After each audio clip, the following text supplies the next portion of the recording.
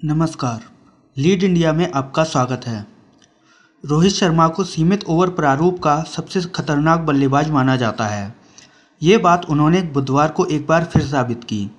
Chennai super Kings के खिलाफ IPL के तेरहवें सत्र के उद्घाटन मुकाबले में रोहित सस्ते में पवेलियन लौट गए थे और इसकी कसर उन्होंने आबू धाबी में कोलकाता नाइट राइडर्स के खिलाफ जमकर पूरी की। रोहित ने चौवन गेंदों पर तीन चौकों और छः छक्कों की मदद से 80 रन बनाए।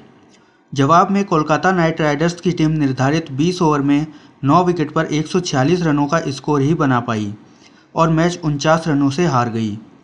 मैच के बाद रोहित ने कहा कि गर्मी और उमस के कारण यूएई में लंबी पारी खेलना आसान नहीं है। रोहित ने कहा, मैं अंत में थोड़ा थक गया था और यह हमारे लिए एक सबक था कि एक सेट बल्लेबाज को अंत तक बल्लेबाजी करने की ज़रूरत है।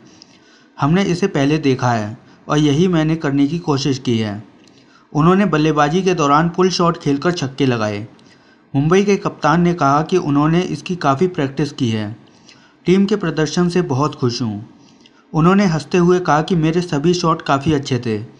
गेंदबाजी की बात करते हुए उन्होंने कहा कि हम नहीं जानते थे कि आईपीएल यूएई में होगा। इसलिए हमने वानखेड़े के मद्देनज़र तेज़ आक्रमण चुना था। लेकिन गेंद यहाँ भी पहले छः ओवरों में सीम हो रही थी। हम ट्रेंट बोल्ट और जेम्स पेस्टिनसन के साथ ज़्यादा नहीं खेले हैं। के के कप्तान दिनेश कार्तिक ने कहा कि बहुत विश्लेषण करने की ज़रूरत नहीं है। खिलाड़ियों को पता है कि उन्हें कहाँ बेहतर करने की आवश्यकता है। पैट कमिंस और एन मॉर्गन का आज क्वारंटाइन समाप्त हुआ। उनके लिए इस गर्मी में खेलना आसान नहीं था। वहीं ट्रेंट बोल्ट ने यह भी कहा कि वह इन परिस्थितियों में खेलने में सहज नहीं थे। उन्होंने कहा मैं यह नहीं कहूँगा कि मैं इन गर्म परिस्थितियों में सहज हूँ। मॉर्गन और रसेल के खिलाफ गेंदबाजी करना एक बड़ी चुनौती है, लेकिन आज जीत हासिल कर काफ़ी अच्छा लगा। मैं न्यूजीलैंड में गेंदबाजी कर रहा था और वहाँ सर्दी है।